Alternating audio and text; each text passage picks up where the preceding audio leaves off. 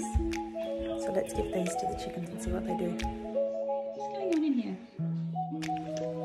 Okay. Ew. Yucko. Oh my god. Are you serious? Hang on, I need two hands. Wow, there you have it. And I have oyster juice all over me. Ugh. Cheese on. Take these babies and see what happens. Who would like to try oysters? Anyone? Anybody?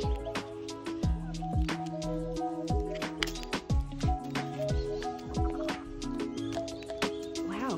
Okay, so they actually like oysters. Whoa, whoa.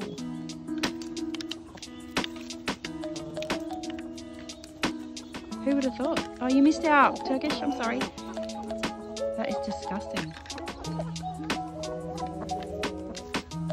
Well, I guess maybe I could start selling oyster eggs, oyster flavored eggs, Aphrodisi eggs, maybe.